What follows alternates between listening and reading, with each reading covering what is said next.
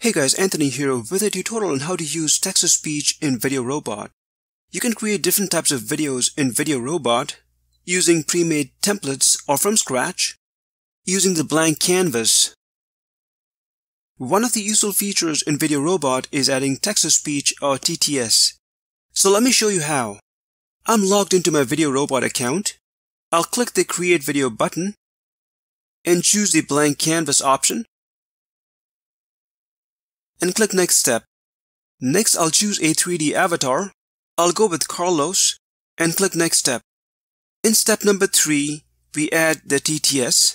Make sure you've chosen text-to-speech. Next, choose the language. As you can see, there are many options. I'll stick with US English. Next, I'll choose a voice. I'll go with Matthew.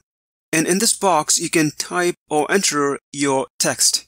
I've already pre-written my text, so I'll copy and paste it into this box and then click on the Import Speech button. You will see this Play Audio button, and you can click on it to preview the audio. Note that if you make any changes to the text, you'll need to click the Import Speech button again. We can add background music if we wish. I'm going to skip this and click Next Step.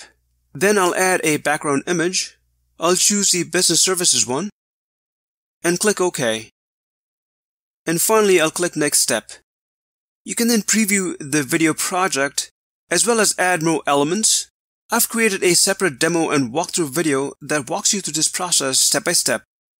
Also, I've created a tutorial on how to mute a 3D avatar using speak tags.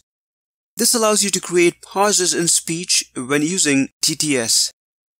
Well, hope you found this video helpful. Look for more VideoRobot tutorials on my YouTube channel, and thanks for watching.